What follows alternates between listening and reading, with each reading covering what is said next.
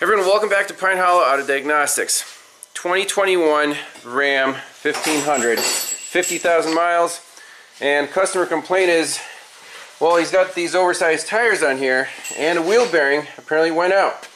That caused the ABS system to fuss. Wheel bearing was replaced. It was good for a day apparently, and now the same code is coming back for the front left wheel speed sensor here it is, C00311D. And the shop owner here wants me to tell him, is this aftermarket wheel hub defective? Um, because he doesn't want to do the job twice if that's not the problem.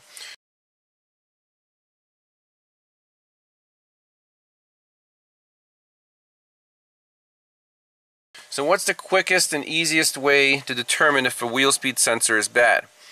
Well, if the connector is easy to get to on the right and the left sides, we can just swap them around, meaning run wires from the uh, left front harness to the right front known good sensor, spin that wheel.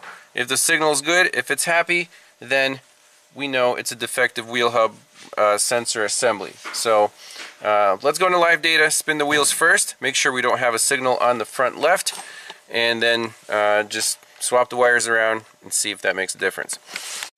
So by the way, on the newer Chryslers, you are going to have to be connected to the internet on your scanner and be subscribed to AutoAuth.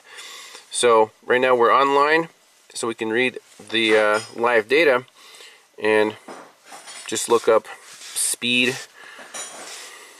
There, front, left front, right front. That's all we need. Let's graph that. Well, it's the left front's showing 1,490 miles an hour. That's wrong. Um, but let's spin the wheels and see what happens. Alright, so let's spin the left front wheel, see if there's any difference. The right front's definitely showing. Left front is MI8. Let's unplug the sensor and see if the code changes and if that data drops out. Okay, so sensor is unplugged the uh, live data did not change. Let's see if the code changed at all. Nope, the code did not change. What we could do is plug in the original sensor, which uh, the shop owner still has, and see if that makes a difference. So definitely don't throw away your old parts until the truck or the vehicle is guaranteed fixed for a month. so good thing we have this old hub and sensor assembly, so that's plugged in. Let's read the fault code.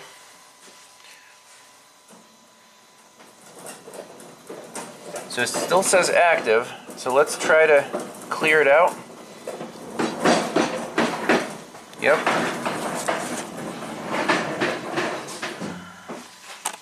DTC is still present, read fault code.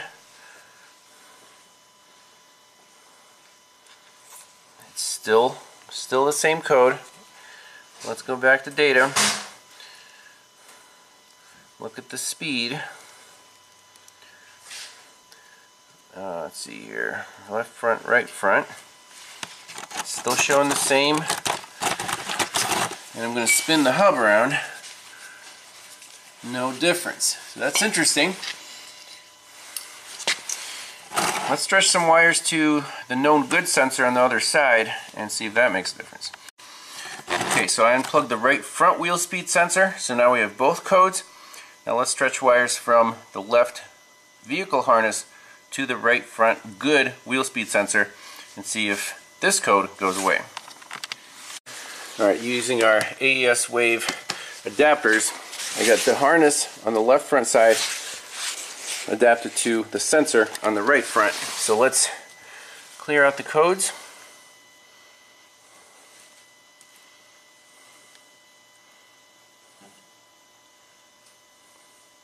I should say DTC still present. Read fault code. Hmm. Both codes still present. And on data stream, right front and left front will probably be 1500 miles an hour. Okay, So, what do we just prove? There's a problem between the ABS module and this connector. And it's not reading any sensor. So we need to go to the ABS module, look up a wiring diagram, do a visual inspection on the wiring harness, see if there's a break in the wire. So the ABS module conveniently lives right here. So let's, I blew off the connector, all the junk. Let's unplug it, key's off now. So we need a wiring diagram for this bulk connector. Maybe try to get that cover off, match up the wiring colors, and just do a resistance check from here to here. Alright, thanks to ALLDATA we have a nice wiring diagram, OE. We're going for the left front wheel speed sensor, so pins 8 and 9 at the ABS module. I got pin 8 front probe with a fine needle, don't spread the terminals. And then the other side of the ohm meter is on the sensor side. And we have 0.3 ohms. You can wiggle the harness, make sure that doesn't change, so that's good. Let's move the pin over to pin 9. Let's see, one, two, three, four, five, six, right there. So that's fine. And move this to the other terminal.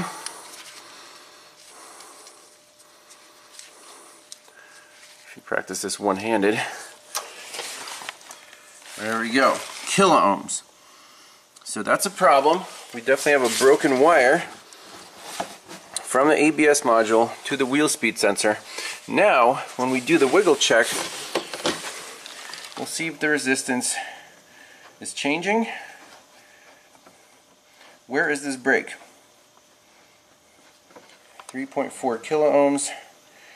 Now all we have to do, maybe do a tug test. We know it's going to be this wire right here. That's the green with the dark green. That goes to pin 9. Watch the ohm meter if we do a tug test, if we lose continuity or not.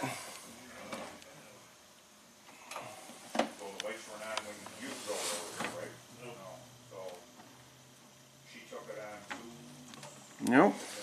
So let me keep tugging on these wires here. Um, actually exposed them right here so we know which wire to tug. It's going to be the green with the dark green. I'm going to tug it right here. 3.5 kilo ohms still. Doesn't seem to be changing. Let's look at the harness going to the ABS connector. Hmm. So let's track the harness just visually from the ABS sensor down there. It goes to right there. That's where I exposed the, uh, the two wires. It goes into here. How does it make it to the ABS module, which is right down here? See this loom? It must go down there, close to the frame rail, and then up here uh, by the fender, behind the battery, down here, back to the ABS module. So not a direct route. So I have the ohm meter right here. The ohm meter is showing something weird. Can't figure it out. Let's see, range 2.3 kilo ohms. I'm just gonna gently, oh, there we go, 1 kilo ohm, 1.0. So somewhere down here by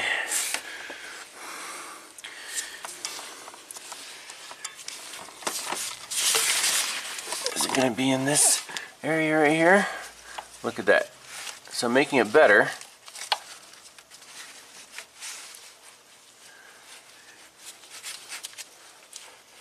I want to make it worse. Point three.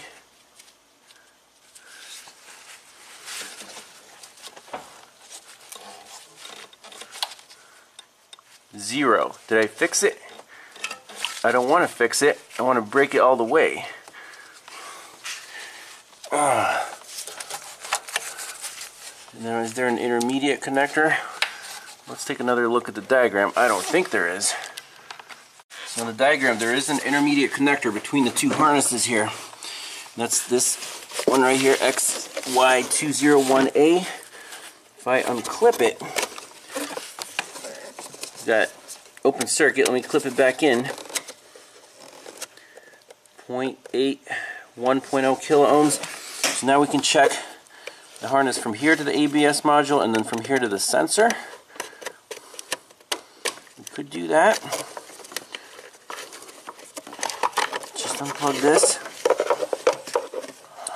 Pick out the right pin. I have a feeling the problem is going to be somewhere down here where it goes into that fat harness. Do a little more tugging on that wire. If the resistance is changing like that, it should be almost broken. Alright, so I'm noticing on the ohm meter, if I lift this part of the harness up, the resistance reliably goes to zero. Right there, I can basically fix the circuit right there, zero. If I let it relax and kind of bounce it around, it'll go back up. So is there a broken wire inside of that harness? well, we gotta open it up.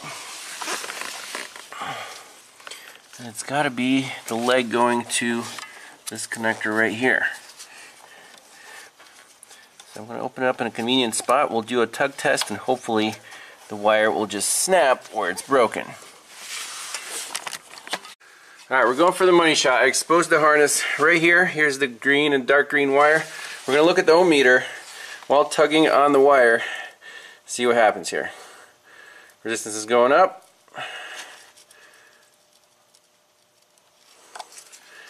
That's stubborn. It's got to snap somewhere.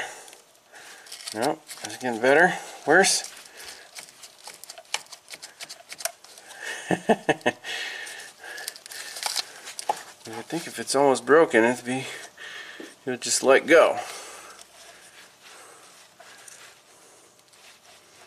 Well, we can probe it right here and see if the problem is going up or going down. Alright, so measuring the resistance now from this wire to the ABS sensor, we have that 3 kilo ohms. That's bad.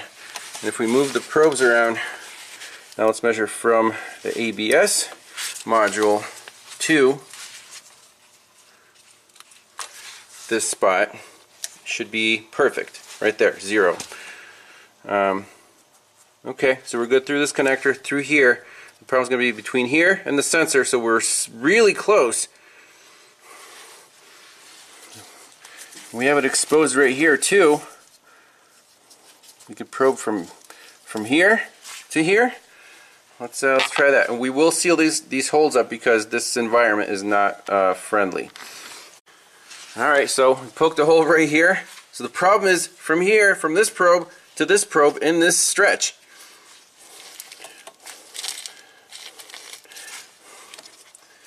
Should we just pull the wire really hard, see where, where it breaks? from this side, from this side. This is crazy, Bill. It's not breaking, but we know we know the wire is bad. Yes. All right. Well, the data doesn't lie. I unwrapped the harness right here at this bend. See that little green crusty?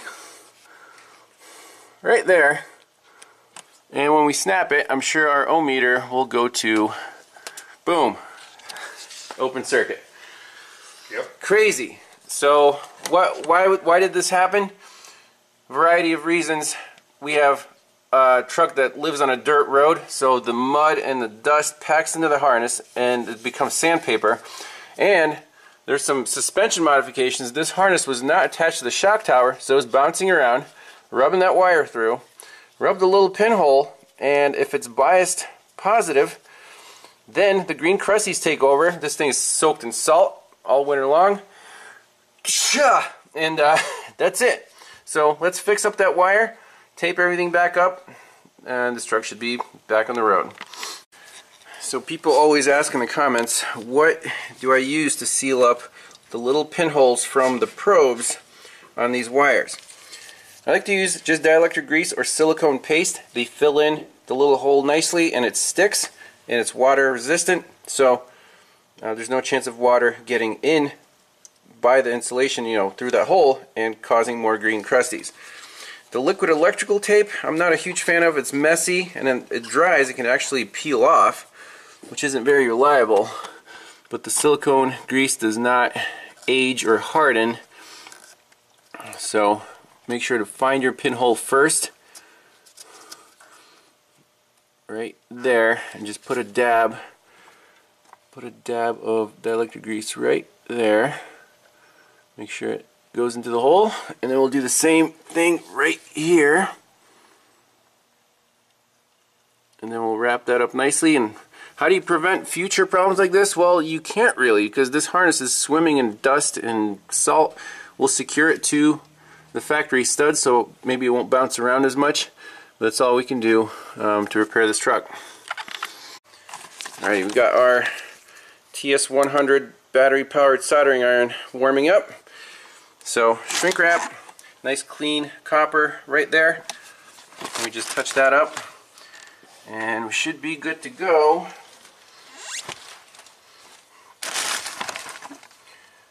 Get that in the shot.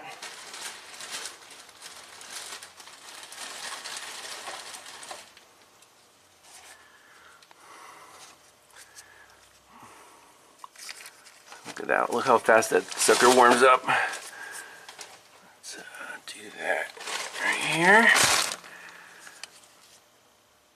Preheat the wires.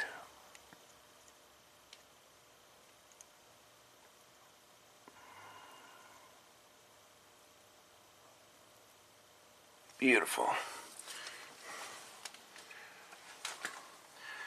Do a little tug test. Put the shrink wrap right over. And we'll tape everything up.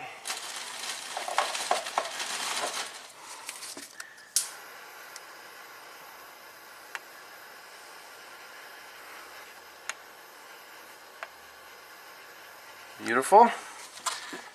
Now, uh, next shot we'll plug everything in and make sure the wheel speed sensors are happy. Alright, let's do a full code clear.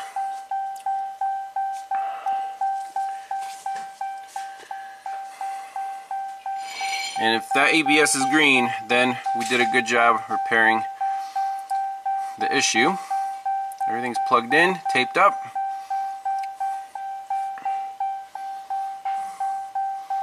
We finish that and we'll go into live data, make sure the wheel speed sensors read fine. We're already in good shape. All right, here we go. So both wheels are at zero miles an hour. Let's spin the right front.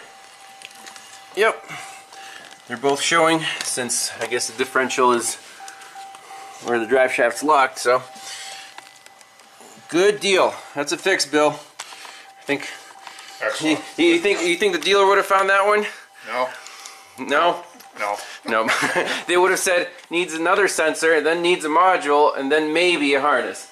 Right. That's that's how they do it. So that's proof right there. We're done with this Ram